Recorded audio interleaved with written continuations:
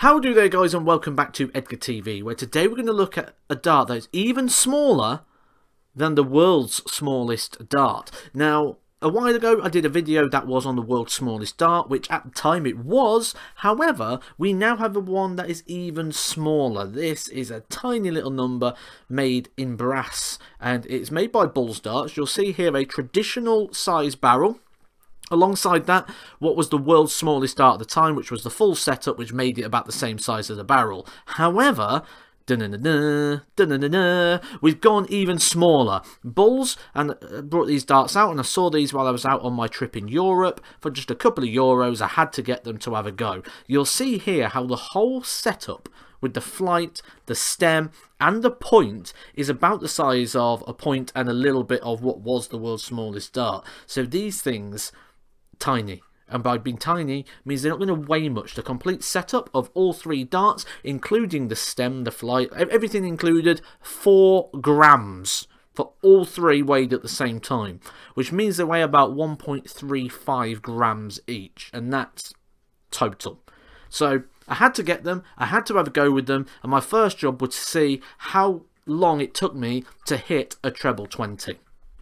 So it's over to the board, I went and have a little throw. Now these was quite tricky to throw and get to grips with because of how small they are. You can see literally how they sit in the hand and how the hand covers from even the middle part of the flight all the way down to the point. But I'm actually quite happy when I'm watching this back. At the time it felt like you're quite far away because it really doesn't take up any space in the board.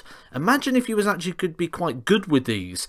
How much you could actually become very good with them because you're literally not blocking up any target.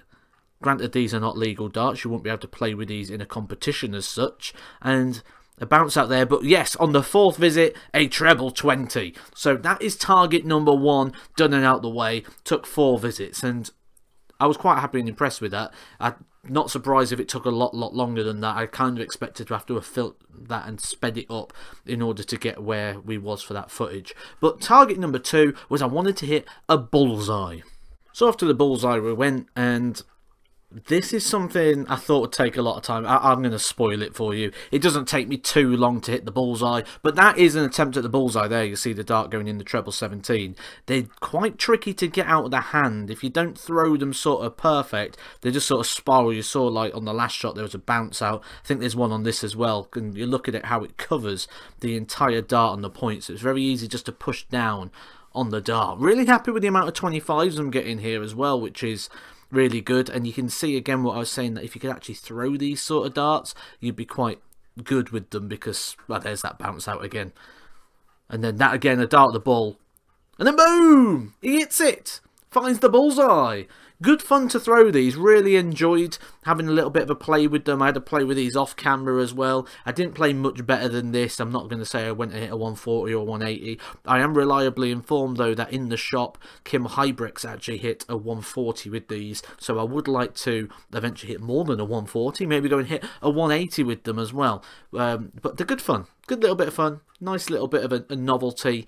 Might even take these to some exhibitions and things that are coming up in the near future.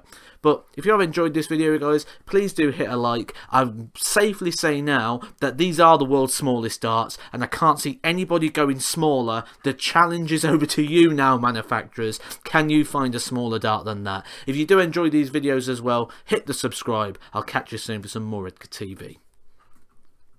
Edgar TV.